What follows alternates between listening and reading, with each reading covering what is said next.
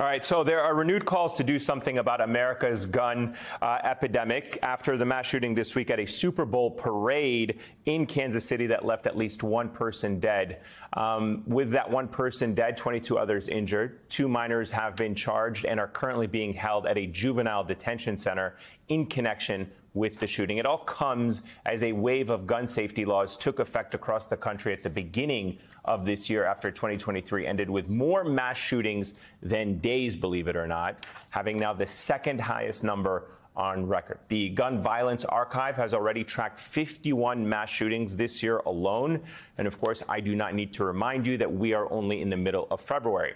And as the Trace notes, a newsroom dedicated to covering gun violence, uh, these shootings happen so frequently in America that we are left feeling that they can happen anywhere at any time and without any warning. And that's because they actually do. The fact that mass shootings are still taking place, uh, despite the presence of police forces and even the scattered gun safety laws that do exist, signals how deeply rooted this issue is in this country and the work that lies ahead. Joining me now to discuss this epidemic and more are Attorneys General Aaron Ford of Nevada and Kwame Raoul of Illinois. Gentlemen, it's great to have both of you with us. Thank you so much for making time on this important uh, topic. Um, Attorney General Raoul, I'd like to start with you because I know that gun safety is personal for you as one of your own employees survived the Highland Park mass shooting back in 2022. Uh, talk to us a little bit about what efforts you are leading in your state to address this issue. Yeah, certainly. Um, well, we know that uh, the guns that are being used in gun violence in uh, the communities most harmed by gun violence are neither manufactured there, legally sold there, uh, or legally transferred into uh, hands of those who are perpetrating this gun violence. So one of the things you mentioned, Kansas City, we partnered with the city of Kansas City to sue a uh, to sue the ATF for relicensing a gun manufacturer that was making cheap guns that were known to be used in crimes, carjackings, robberies, and so forth. And we were successful in getting the license of that gun manufacturer revoked. That was a manufacturer that was specifically making guns, not for law-abiding gun owners, but but for people uh, that they knew would do harm with them. We also partnered uh, with with Everytown and we created a crime gun tracing platform so we can trace the flow of guns. We in, we prosecute um, gun trafficking cases, but we need the data to make sure that we can track down those who are trafficking guns from other states into the state of Illinois and into the city of Chicago, which is uh, well known for its gun violence, unfortunately.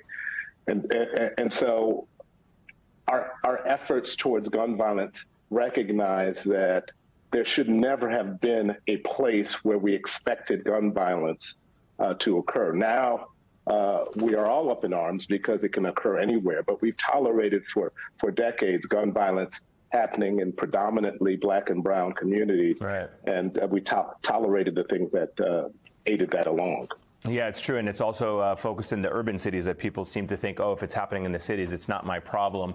Um, Attorney General Ford, in 2022, you secured, I believe, uh, $400,000 to go towards educating and training programs for your state's red flag law. Talk to us about uh, the progress that you've seen with this initiative and other steps that your office is taking to protect your constituents, and if we can expand it to other states.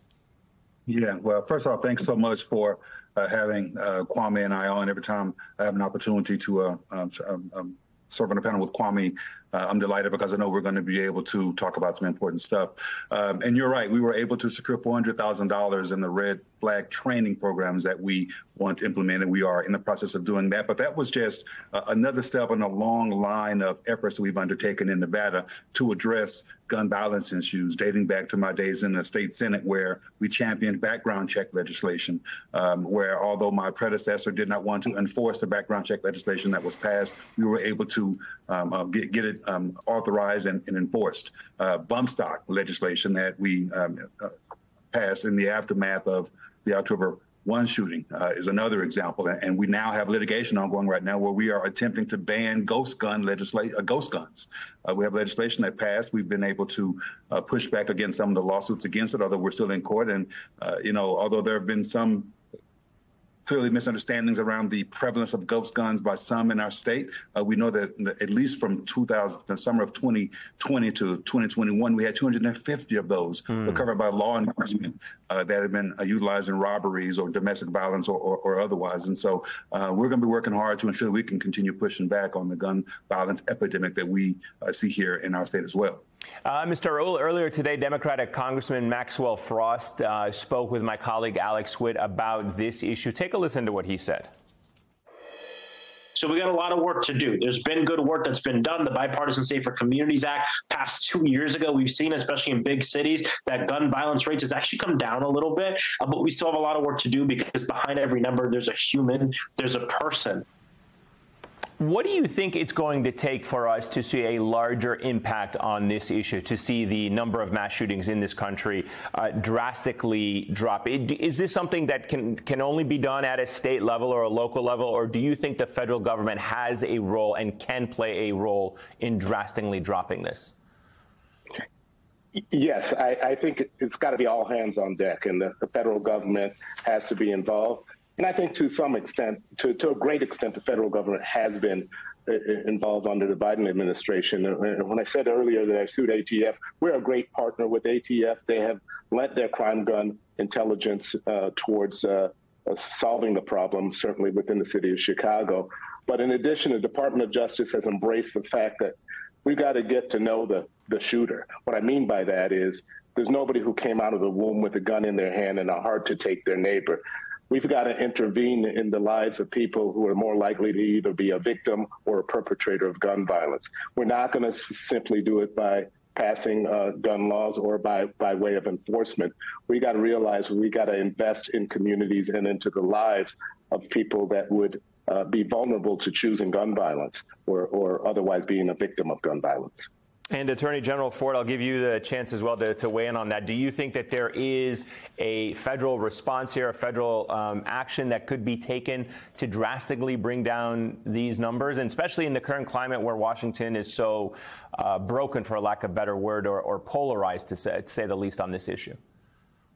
Yeah, absolutely. I think there's a federal response that's necessary and appropriate. I do uh, commend the Biden administration for undertaking those efforts. Uh, it does need he does need a Congress that's willing to undertake these as well. Uh, and so, you know, I, I, commend again him for doing that. But we have yet more work to do.